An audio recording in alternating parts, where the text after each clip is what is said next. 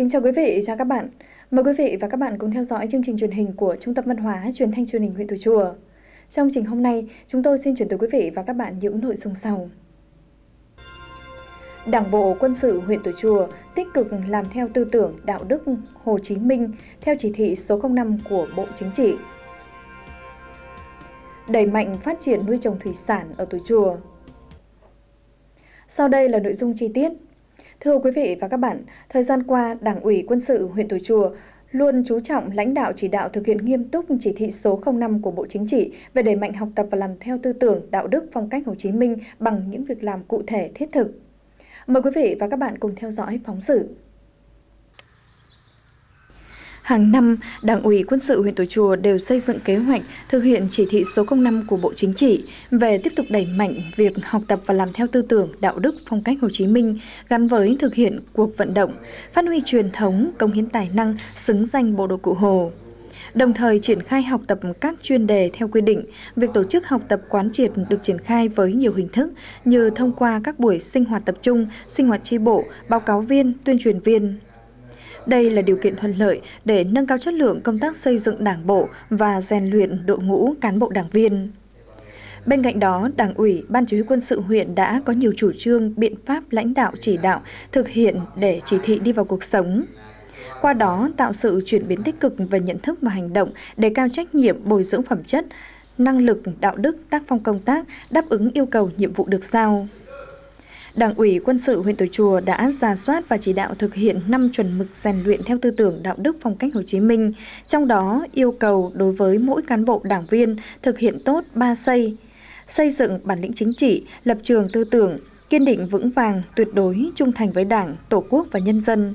xây dựng mối đoàn kết thống nhất trong đơn vị và mối quan hệ đoàn kết quân dân xây dựng tinh thần trách nhiệm, tích cực học tập nâng cao trình độ, nâng cao tinh thần cảnh sát cách mạng, sẵn sàng chiến đấu, chấp hành nghiêm pháp luật nhà nước, kỷ luật quân đội, quy định của đơn vị và ba chống. Chống tham ô, lãng phí, cửa quyền, hách dịch, chống bệnh thành tích, bao che giấu giếm khuyết điểm, chống cục bộ, bè phái, phát ngôn tùy tiện, làm mất đoàn kết nội bộ.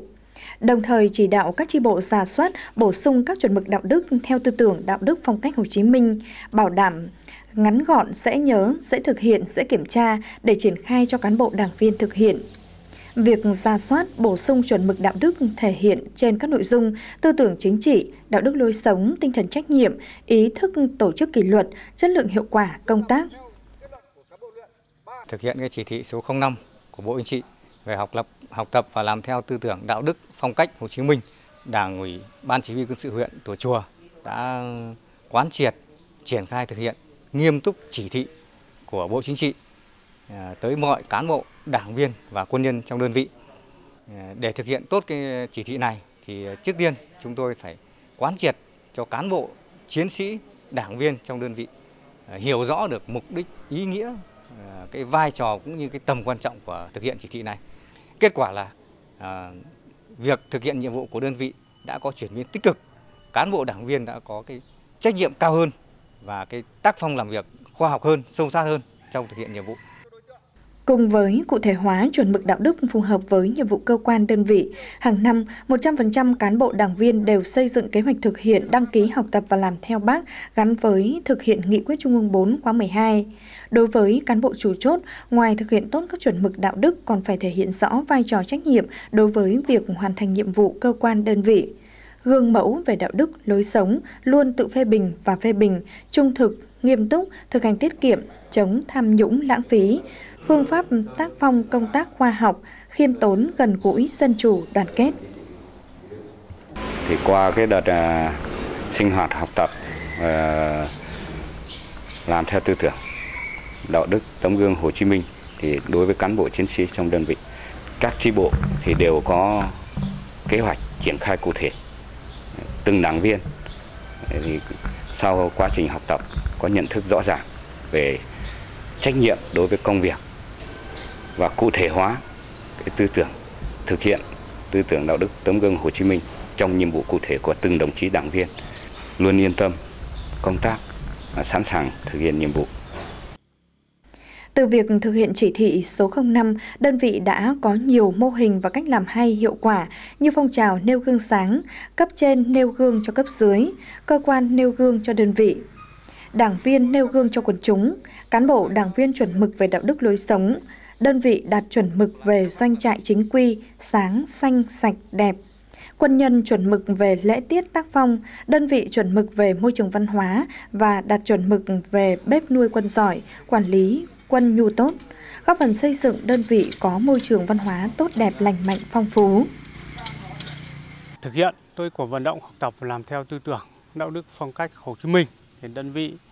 à, cũng đã gắn với à, thực hiện cái, cái phong trào của ngành. Năm 2020 là kỷ thực hiện cái kỷ luật kỷ cương à, năm 2020 do Bộ Tư lệnh Quân khu phát động nội dung này. Thì đơn vị cũng đã tổ chức cho À, từng đồng chí cá nhân và à, từng cơ quan là à, tự đăng ký xác định các cái nội dung thực hiện trong năm 2020. Cán bộ, đảng viên trong đảng bộ ngày càng nhận thức sâu sắc hơn giá trị to lớn trong tư tưởng đạo đức, phong cách Hồ Chí Minh, tự giác phấn đấu, học tập rèn luyện. Năng lực lãnh đạo, sức chiến đấu của các tổ chức đảng ngày càng được nâng lên. Phương pháp tác phong công tác của cán bộ, đảng viên từng bước được đổi mới. Ý thức trách nhiệm trong công việc, thực hành tiết kiệm, đoàn kết nội bộ, đoàn kết quân dân ngày càng nâng cao, qua đó góp phần đẩy lùi suy thoái về tư tưởng chính trị, đạo đức lối sống trong cán bộ đảng viên. Bản thân cái thứ nhất phải chấp hành nghiêm mệnh lệnh và kỷ luật của quân đội cũng như pháp luật của nhà nước. Từ vấn đề đấy, chỉ thị 05 để chúng ta học tập, nâng cao trình độ về mọi mặt đối với cán bộ đảng viên trong toàn đơn vị và cá nhân tôi nói riêng.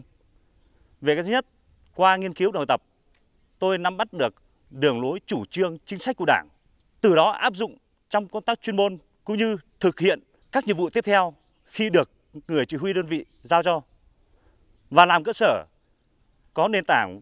vững mạnh về chính trị và từ đó khi thực hiện nhiệm vụ là bản thân là bám sát theo nghị quyết chủ trương đường lối của Đảng. Cùng với đó, Ban Chỉ huy quân sự huyện Tùa Chùa luôn làm tốt công tác tham mưu cho huyện ủy, Ủy ban nhân dân huyện chỉ đạo tổ chức diễn tập khu vực phòng thủ huyện, xã, diễn tập phòng chống thiên tai, tìm kiếm cứu nạn ở cơ sở, xây dựng nền quốc phòng toàn dân, thế trận quốc phòng toàn dân gắn với thế trận an ninh nhân dân vững mạnh. Công tác tuyển quân hàng năm đều đạt 100% chỉ tiêu kế hoạch giao, hoàn thành 100% kế hoạch huấn luyện cho các đối tượng, tỷ lệ khá và giỏi đạt 77%. 75% tổ chức đảng, 90% đảng viên hoàn thành tốt và xuất sắc nhiệm vụ. Thực hiện tốt chế độ chính sách cho các đối tượng, tham mưu cho Ban chỉ đạo 24 của huyện tổ chức hội nghị điểm cho các xã, thị trấn, toàn tỉnh về rút kinh nghiệm lập bản đồ tìm kiếm, quy tập hài cốt liệt sĩ đảm bảo chất lượng.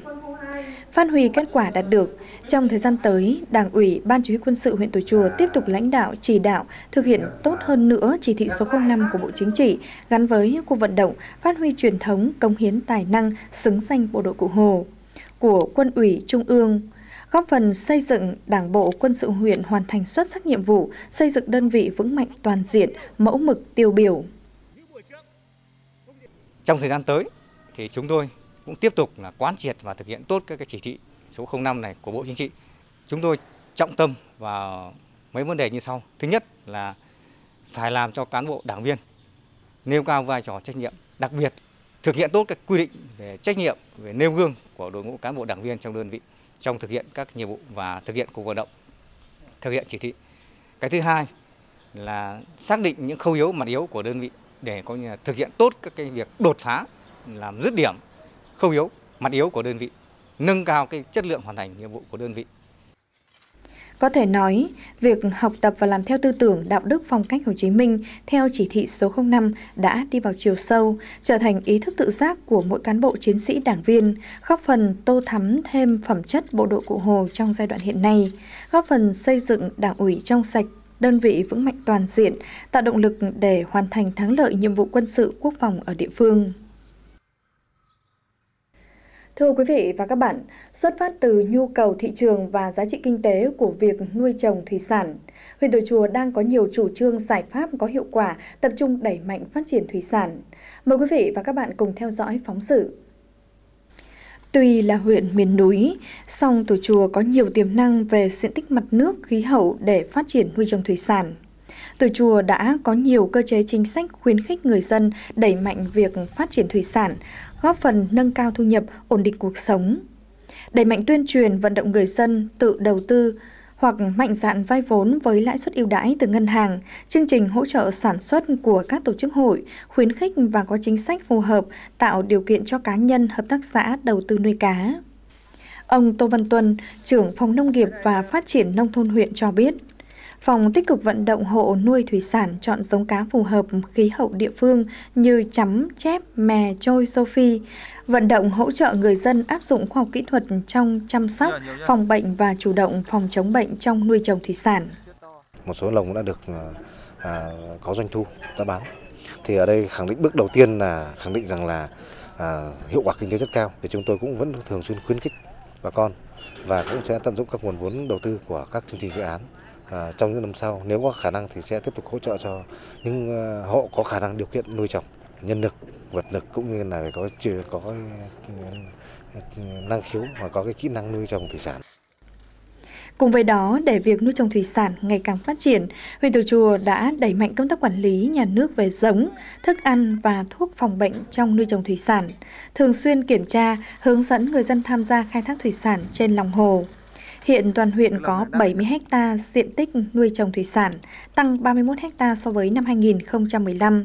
Sản lượng nuôi đạt gần 88 tấn, sản lượng đánh bắt. Huyện Tùa Chùa có gần 50 km đường sông nằm ở các xã Tủa Thàng, Xín Trải, Hồi Xó. Đây là điều kiện tốt để người dân phát triển chăn nuôi và đánh bắt thủy sản, tăng nguồn thu nhập. Xã Hồi Xó là một trong xã mà ở gần lòng hồ sông Đà thì với cái chủ trương của Đảng cũng như là cái văn bản chỉ đạo của cấp trên thì một số hộ dân là cũng tận dụng cái lòng hồ sông Đà thủy điện Sơn La để à, nuôi cá lồng đầu tư nuôi cá lồng. Thì có một số hộ ở trên địa bàn là à, thu nhập à, của một à, số lòng cá là một năm thì cũng được à, 60 đến 70 triệu à, một hộ gia đình gia đình hiện tại làm được 6 ô là một ô thì tôi để làm cái bếp để nấu cám các thứ để để cho cho cá ăn và thả cá là có có 5 ô. Tôi thấy vừa mấy năm ngoái nuôi thôi mà tôi thấy đến năm năm nay thì tôi cũng à, có cái cá rất nhiều nữa mà à, sẽ tiếp tục duy trì và nuôi cái cá à, cá lăng và cá à, cá chép để như cái cá có giá trị. Bên cạnh đó, nhân dân trên địa bàn huyện Tùa Chùa đã nhận thức được vai trò của việc nuôi trồng thủy sản đối với việc phát triển kinh tế của gia đình, góp phần vào việc tăng thu nhập, nên đã tích cực triển khai nuôi trồng và khai thác thủy sản. Các hình thức nuôi trồng thủy sản ngày càng đa dạng, ngoài việc phát triển nuôi cá lồng và khai thác đánh bắt trên lòng hồ thủy điện Sơn La, người dân đã vận dụng lợi thế và khí hậu nguồn nước để phát triển nuôi cá ở ao và một số hồ nhỏ năm 2016 là tôi bắt đầu nuôi cá. Chuyển đổi từ đất ờ, một số cái đất ruộng tôi đào thành ao nuôi cá. Cái ờ, thu nhập nó cũng được cao hơn và ổn định hơn thì trong khi đấy thì tôi cũng ờ, bàn bạc với lại chị em trong tổ phụ nữ và chúng tôi đã thành nhập lập cái dịch vụ nông nghiệp mường báng thì cho đến hiện tại bây giờ thì hợp tác xã đi vào hoạt động thì diện tích ao của chúng tôi thì có khoảng tầm bảy tám nghìn mét trong thời gian tới, để phát triển nuôi trồng thủy sản, huyện Tùa Chùa tiếp tục khuyến khích các thành phần kinh tế tham gia đầu tư xây dựng cơ sở sản xuất và ươm nuôi giống, đầu tư mở rộng nuôi trồng, tìm kiếm thị trường cho sản phẩm, tập trung nuôi các loại cá có giá trị cao, xây dựng các mô hình trình diễn khuyến khích phát triển nuôi cá lồng, áp dụng tiến bộ khoa học vào nuôi trồng thủy sản nhằm tăng năng suất và chất lượng sản phẩm.